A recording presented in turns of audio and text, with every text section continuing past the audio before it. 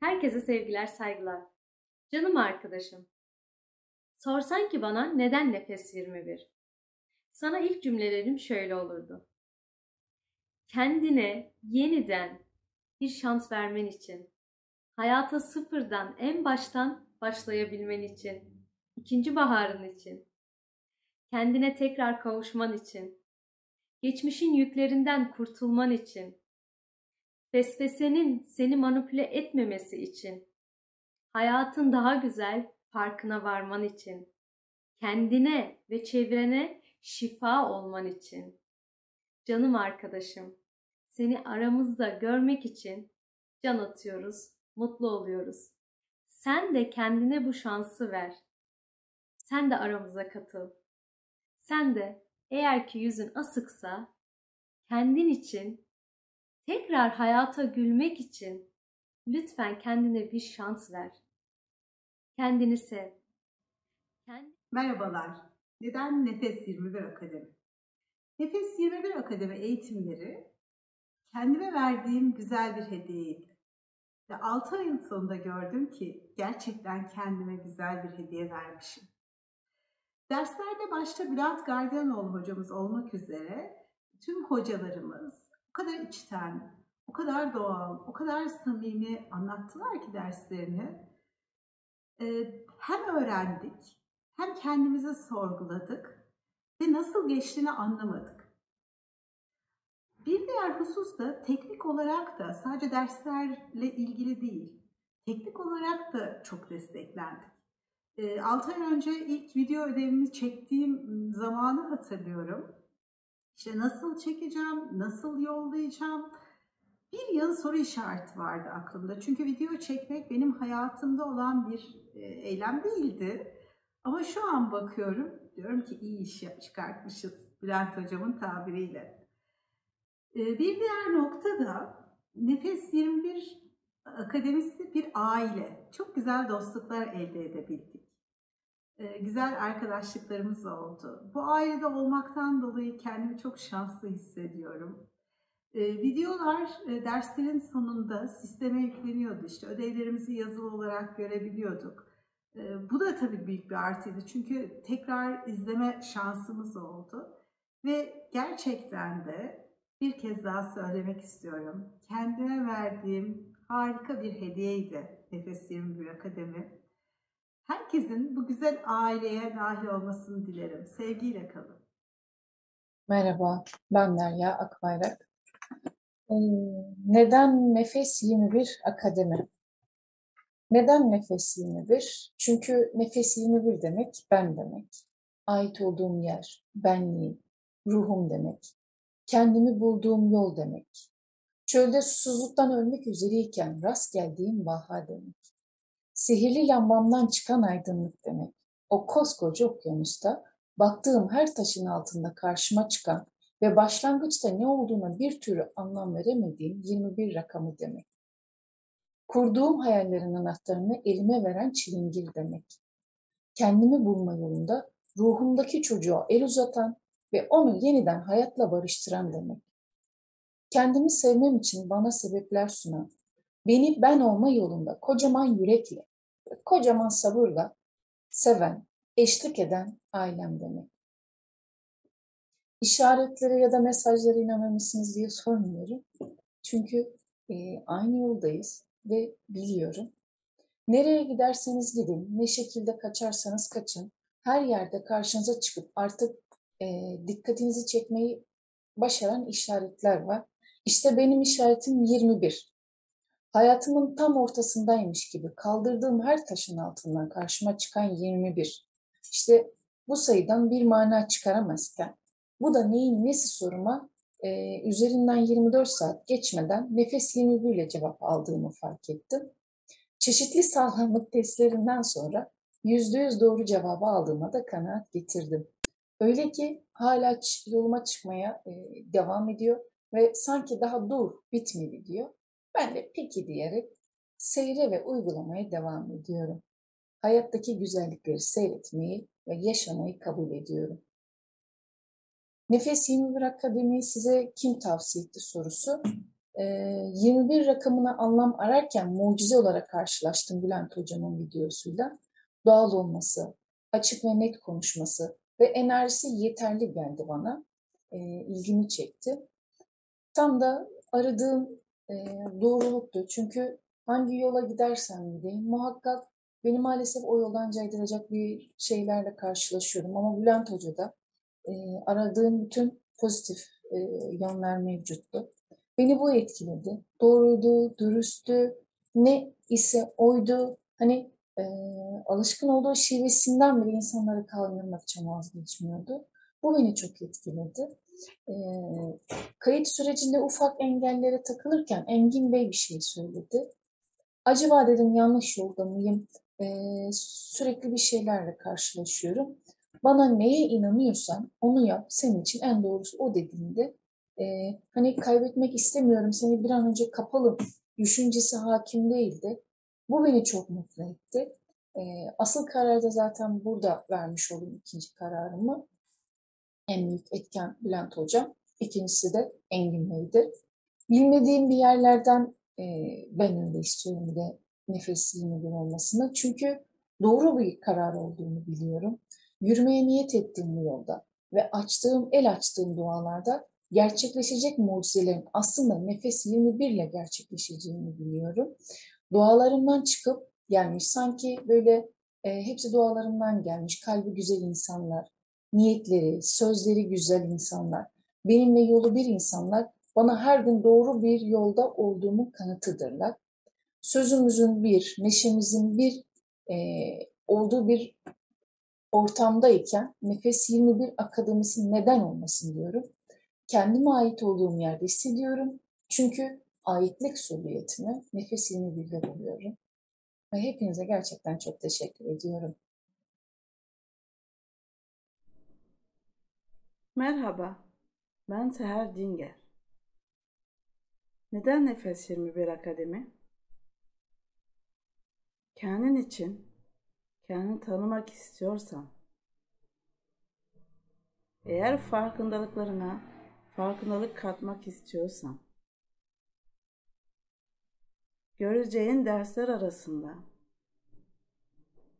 ilk içindeki çocuğu bulacaksın. O çocukla o çocuğu affedip kendinle barışacaksın. Sen kendini sevmeyi, kendine değer vermeyi öğreneceksin. Kendi mutluluğun için adım atacaksın. Eğer sen mutlu, huzurlu olursan, ailen, çevren de seninle daha güzel, daha sevgi içinde olacaksın. Burada cesaretini toplamayı, güvenini arttırmayı öğreneceksin. İmkansız zannettiğin hayallerin, hedeflerine odaklanacaksın. Kendini tanımayı, kendini değiştirmek için bir adım atacaksın. Aslında bildiğimiz ama göremediğimiz duygularımızı yönetmeyi öğreneceksin. Sen kendini tanımladıkça, sen iyileştikçe hayatın da değişecek, daha güzel olacak. Haydi sevgili arkadaşım, artık konfor alanından çıkma vakti. Kendin için bir adım atma vakti. Gel bizimle bu akademide yoldaş olalım birbirimize. İyi ki Nefes 21 Akademi. Salih Aysel Karaoğlu Nefes 21 Akademi bize ne kazandırdı? Öncelikle adı üzerine Nefes 21. Nefesin nasıl yapılması gerektiğini, nasıl nefes aldığımızı, nasıl hızlı mı aldık, yavaş mı alıyoruz, bütün vücudumuza oksijen gidiyor mu, nefesi kontrol edebiliyor muyuz, zihnimize odaklanabiliyor muyuz? Öncelikle buradan başladık. Nefes 21 Akademi adı üzerinde. Doğru nefes burada şunu fark ettim. Nefes doğru almadığımı, e, nefesi sık sık aldığımı e, ve dolayısıyla organlarıma oksijeni göndermediğimi, vücuduma değer vermediğimi, her şey alelacele yaptığımı, geçiştirdiğimi fark ettim. Bunun dışında içimde birçok korkuların olduğunu, e, endişelerimin, vesveselerimin ve hayatıma geçmişteki etkilerinin geleceğime yansıttığımı, bugünü yaşamam sebeplerinin köklerinin geçmişte yattığını, sürekli insanlara kırgın olduğumu, kızgın olduğumu, çevreme suçladığımı, e, annemi, babamı yargıladığımı, ilk başta onlar olmak üzere kardeşlerimi yargıladığımı ve onları sürekli eleştirdiğimi fark ettim. Geçmişteki kavgalarımın bugüne yansımalarını fark ettim. Çevreme bakış açılarımı puslu gözlüklerle, kirli camlarla bakıp hep çevreyi, etrafı suçladığımı, kaderime söylendiğimi, ilahi sisteme söylendiğimi fark ettim. Ee, bunun dışında doğrularımın, doğrularımın gerçek doğru ve herkesin böyle olması gerektiğini, etrafı düzeltme, her şeyi kontrol etme, mükemmeliyetçilik yapımının olduğunu ve rekabet gizli de olsa her ne kadar kendimi humanist olduğumu görsem de yani öyle bir etiketlendirme yapsam da etrafa bakış açımda rekabetçi olduğumu, insanları dışladığımı, farkında olmadan dışladığımı, insanları etkilet, etiketlediğimi, ön yargılarımın olduğunu, hem de birden çok fazla, korkularımın olduğunu, korkularımın insan ilişkilerinde ve e, birçok ilişkimde e, bunları sabote ettiğini, e, dışarıdaki insanları suçlarken aslında bun, bunların benden kaynaklanan, birçoğunun benden kaynaklandığını, dışa aktarım yaptığımı, aynalama yaptığımı, yansıttığımı, ee, anne baba ile affetmenin önemini öncelikle anne babadan başlayarak, kardeşlerin, iç çekirdek aileden başlayarak, çevrenin, kırgınlıklarımızın, bu yüklerimizin, bu sırtımızda taşıdığımız yüklerimizin bırakmadan e, harekete geçemeyeceğimizi ve e, kısır döngü şeklinde yaşadığımız hayatın yani bir sınava giriyorsunuz, o sınavda sürekli başarısız oluyorsunuz ve başka bir sınava, başka bir önünüze kağıt gelmesini bekliyorsunuz. Fakat bu geçmişi affedememek, geçmişte barışamama birçok şeyin ortasında odak noktası. Geçmiş geleceği etkilediği gibi Bugün de e, geçmişin düşünceleri, geçmişteki bir takım hedeflerimiz, planlarımız, korkularımız, endişelerimiz, yapamazsınlarımız, yapamam dediklerimiz, bize yüklenen bir takım etiketler, çevrenin, sosyal çevrenin, ailemizin bize yükledikleri, aile sadakatiyle bunları gerçekleştirmek için bir kısır döngüye girdiğimizi, affetmemenin e, aslında bizim için bir yük olduğunu, yani e, affettiğimiz kişilere bir armağan değil de e, geçmişte yaşadıklarımızın affedilmeyip özgürleşemeyince bu ayağımıza bazı yani uçmak istiyoruz ama ayağımızı hep tuğlalar bağlamışız. Her affedemediğimiz, takılı kaldığımız şey aslında bir tuğla olarak bizim hayatımızı ağırlaştırıyor ve uçmak isterken bunlardan da vazgeçmek istemiyoruz. Kanatlarımız bir bir dökülüyor. E, bu ağırlıkları kaldıramadığımız için yükselemiyoruz da. Yani yeni hedefler, yeni şeyler, yeni hayatlar, başlangıçlar da sağlayamıyoruz. Anne baba burada çok önemli. Anne babayı affedemediğince, sürekli suçlayınca bunlar nasıl anne babalık yaptılar, biz hak etmediğimiz şeyleri yaşadık. İşte ben bunu hiç hak etmedim ki, kardeşlerim bana böyle davrandılar, ben bunları hak etmedim, ben daha iyisini hak ediyordum. Ya da ben gerçekten suçluyum, ben böyle bir insanım, ben hiçbir şey hak etmiyorum. Bunlar da aslında vesvesenin bir oyunu. Nasıl affedemiyorsak, nasıl kendimizi böyle e, şey görüyorsak, her zaman haklı görüyorsak, sürekli haksız görmek de çocukluk modlarından, çocukluk aktarımlarından geliyor. Yani aslında insan ne kadar eşref mahlukat olsa da bu yaşadığımız bir ailenin içerisine geliyorsunuz. Bu ailenin geçmişten aktarımlar var. Aileden, atalardan, atalardan gelen bir takım aktarımlar var. Sosyal çevrenin aktarımları var. Sosyal çevrenin şartları var. Yapamazsınları var, korkuları var, genel tabuları var. Bunların hepsi bir katman katman soğan kabuğu gibi giydiklerimiz. Bu korkular, endişeler, e, bu bizim üzerimizdeki tanımlamalar bizi bir daraltmış bir kabuk haline sert yani ilk başta bir zarken zamanla biz de bunlara inandıktan sonra bir kabuk haline getirmişiz ve harekete geçememişiz. Hayatımızın birçok katmanında bunlar etkilemişler. Gizli benliklerimiz oluşmuş, gölgede kalan yanlarımız oluşmuş. Her ne kadar dışarıya suçlasak ben çok masumum, ben çok fedakarım ama insanlar e, bana bu şekilde davranıyor. İnsanlar kötü, çevre kötü, çevreye güvenme. Anne babayla yaşadığımız şeylerin çoğunun hayata bakış açımızı biçimlendirdiğini, e, mesela anne ile yaşadıklarımızın güvenli bağlanma, işte çocuk anne arasındaki ilişkinin e, insanın ilişkilerine de, eş seçimine de, arkadaş seçimine de, iş ortamındaki birçok şey etkilediğini, babaya bakılan güvenin Allah'la arasındaki kadere, işte inanca bakış açımızı bile değiştirdiğini, dolayısıyla bu e, çevreyi, bu katmanları, bu soğan kabuğu, acaba bunlardan hangisi biziz? Bu benlerden hangisi biz? Herkes biz bir şekilde tanımlamış. Hayatımıza giren ve ilk başta geldiğimizde hayatta var olan kişiler bizim üzerimizde bir hakimiyet kurmuşlar. Bizi tanımlamışlar. O dönemdeki e, yaşadıkları sıkıntılarla tanımlamışlar bizi. O dönemde yaşadıkları problemlerle bizi tanımlamaya çalışmışlar ve dolayısıyla bizi biz de biz bunlara inanmışız ve dolayısıyla bunları kabul etmişiz. Fakat gerçekte biz kimiz? İşte akademi bunu kazandırdı. Akademi şunu kazandırdı. İç dinamiklerimizi harekete geçirmeyi, e, bu değişimi başlatmayı bir kışla gibi her her hafta e, hocaların anlattığı derslerle bizden istedikleri video ödevleriyle kendimize dışarıdan gözlemle bakmayı öğrendik.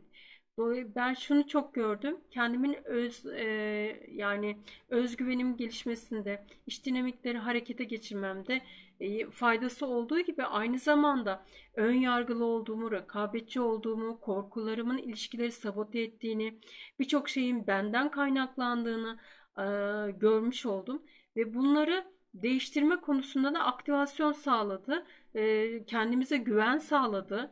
Dolayısıyla bir anda birçok şeyi yapmak yerine teker teker yavaşla, yavaş yavaş sebatla, kendine güvenerek ve buna inanarak inancın çok önemli olduğunu, inancın merkezde olduğunu, öncelikle insanın kendine inancının, kendine güveninin, kendini duymasının, kendine o içindeki çocuğu beslemesini, içindeki çocuğun yaralarını sarmasının, yani bir kurtarıcı beklemek yerine kendine bir kurtarıcı, kurtarması gereken tek kişi aslında biziz. Biz değişim değişince dünya değişmeye başlayacak. Çünkü bizim penceremizdeki puslar, kirler, paslar sökülmeye başlayacak ve birçok katkıları içinde akademiye çok teşekkür ediyorum. Hocalarımın birbirinden değerli hocalarımın hepsini çok seviyorum. Hepsine çok teşekkür ederim. Bana kattıkları için ve katacakları için. Şu an farkında olmayıp daha sonra farkında olacaklarım için her şey için çok teşekkür ederim. Ee, aynı zamanda bütün ekibe de teşekkür ediyorum. Arkadaşlarıma da mutlu, huzurlu, sağlıklı, kolaylıkla yaşayabilecekleri, kendilerini gerçekleştirebilecekleri, hayata katkı sağlayabilecekleri bir hayat, güzellikler e, diliyorum. İnşallah görüşmek üzere. Allah'a emanet olun. Merhabalar. Ben Fatoş Koca Tümmü. Neden nefes 21 diye soracak olursam, kendin için adım atabileceğin, duygularını fark edebileceğin, hayatında zorlandığın durumları dönüştürüp şifalandırabileceğin, seninle aynı duyguları, aynı farkındalıkları yaşayan yüzlerce insanla bir arada olacağın ve bir aile olabileceğin, ben değil biz ilkesiyle adım atan bir platformun içinde olabileceğin için Nefes 21 öneririm.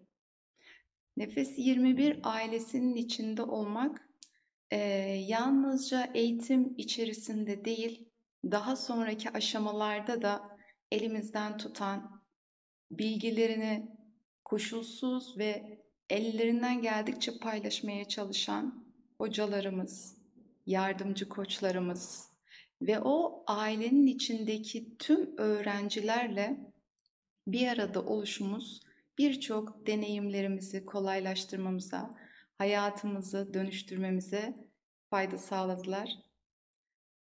Ve dediğim gibi bu burada bitmedi. Bizimle beraberler ve biz yol aldıkça onlar da yanımızda olmaya devam edecekler. Bu duyguyu da bilmek bize ayrıyeten güven veriyor. Teşekkür ediyorum. Hepimizin farkındalığı, hayat sürecindeki tekamülü, kolaylıkla, keyifle ve neşeyle olmasına niyet ediyorum. Teşekkürler.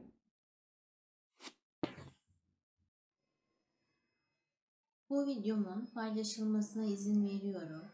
Ben Emine Uysal. Neden Nefes 21 Akademi? Ben Nefes 21 Akademi ile ilk defa kendime yolculuğa çıktım. Doğduğum günden bugüne kadar her ne yaşadıysam bu dünyadaki tekamül yolculuğunun bana kattığı tecrübelermiş meğer. Hayatımızı dışarıda değil, kendimizde, kendi içimizde, düşüncelerimizde olduğunun farkına vardım. Olumsuz düşünce ve korkuların vesvese ile hayatımızı daha da zorlaştırdığını ve çıkmaz sokaklarda bizi oyaladığını fark edip kendime, özüme adım atmamı sağladı. Farkındalık benim dua etme şeklimi değiştirdi.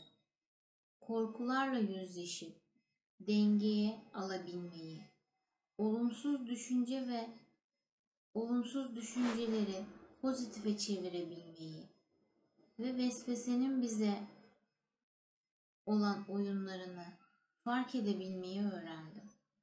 Affetmenin ve helalleşmenin kendimiz için büyük bir özgürlük olduğunun farkına vardım.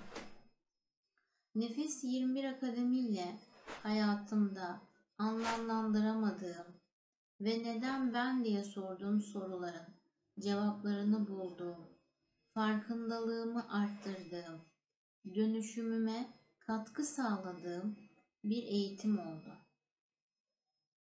Sevgili arkadaşım, eğer sen de hayatını farkındalıkla kolaylaştırmak istiyorsan ve sadece sendeki değişimi fark etmek istiyorsan Nefes 21 Akademi'ye katılmalısın.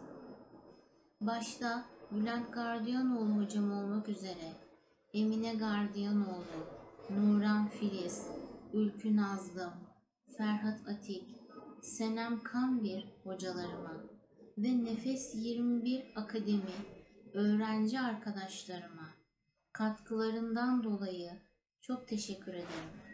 İyi ki Nefes 21 Akademi bizi seviyorum. Merhaba, ben Fatma Aktaş. Bugünkü konumuz olan neden Nefes 21 Akademi? Bu konu hakkında birkaç kelime, birkaç cümle söylemek istiyorum. Ee, neden Nefes 21 Akademi? Ee, beni burayla buluşturan Rabbime sonsuz şükürler olsun. Öncelikle bunu söylemek istiyorum, hamdolsun. Çünkü burayla buluşmasaydım ben tekrar e, geçmişte takılı kalarak eski olaylarımda, affedememişliklerimde, keşkelerimde, e, içsel çatışmalarımla baş başa olarak hayatta mücadelesiyle devam edebilecektim. Ama e, Nefes 21 Akademi ile tanıştıktan sonra e, böyle bir şeyin olmadığını, Yüce Rabbimin bize yaşattığı, gösterdiği her olayın bir farkındalıkla e, bize güzel bir şeyler anlattığını öğrendim, fark ettim. Hocalarımızın bize derslerde anlattıklarını e, içsel olarak bir bir değerlendirdim. Yeri geldi derslerimizi geriye dönük olarak izledim. Her izlememde değişik bir şey fark ettim. Eskiden yargıladığım insanlar, keşkelerim veya affedememişliklerim veya bazı olaylarda asla ve asla ben onu yapmam, ben böyle yaparım, Ben e, o olaya takılı kalmam, işte onu bir kalemde silerim, e, böyle şey mi olurmuş dediğim olayların hepsinin bana bir şey anlattığını fark ederek o dediğim e, cümlelerin, kelimelerin tek tek dönüştüğünü fark ettim. Bana hepsinin bir şey anlattığını, o cümlelerin bana bazı şeyleri yaşattıktan sonra farkındalıklarımın oluştuğunu anladım. E, affedemediğim dediğim insanları yani ömrümde ben affedemem, e, hayatımdan silerim diye bahsettiğim kişileri bile affettim. O e, silerim dediğim kişileri silmedim. Çünkü onların bana aynalık yaptığı bazı şeyler vardı. Onları gördüm. Ki ben aynalığı da burada aldığımız eğitimlerde eskiden e, çok bilincime e, yani denk getiremiyordum. Onun nasıl o, o şekilde olacağını, farkındalıklarının aynalama tekniğinde nasıl bir şey olacağını bu denli içten bilmiyordum ve onları öğrendim. Nefes 21 Akademi'de aldığım eğitimlerle e, çevreme, aileme, çevreme, insanlara, doğaya bakış açım değişti. Düşüncelerim değişti.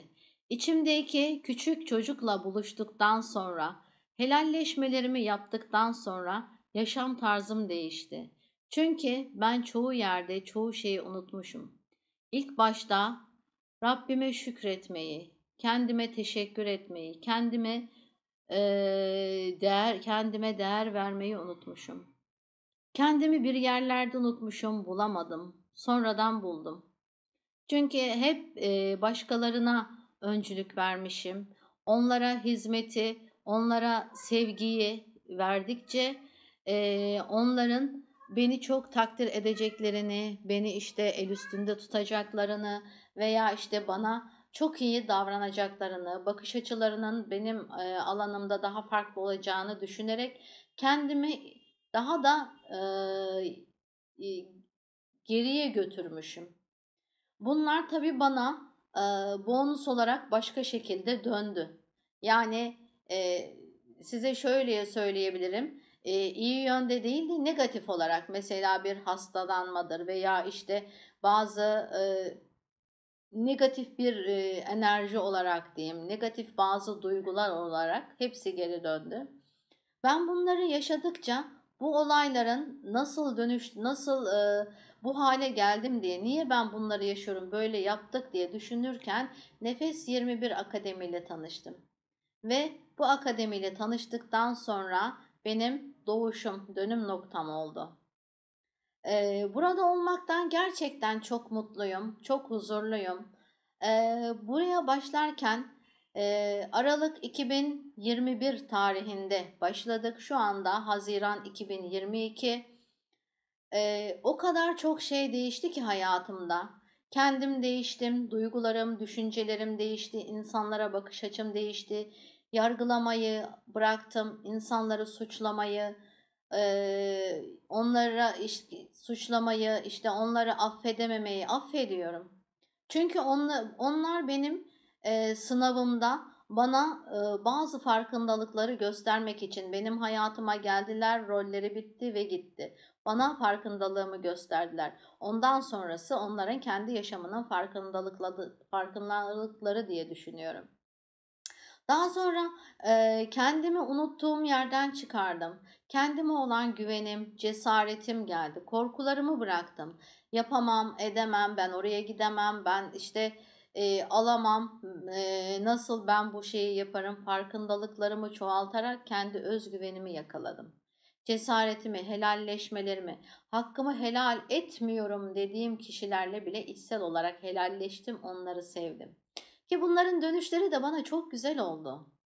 Ben bu güzellikleri içsel içsel yaşadığım zaman e, karşı taraftan da bana aynı şekilde dönüşler başladı.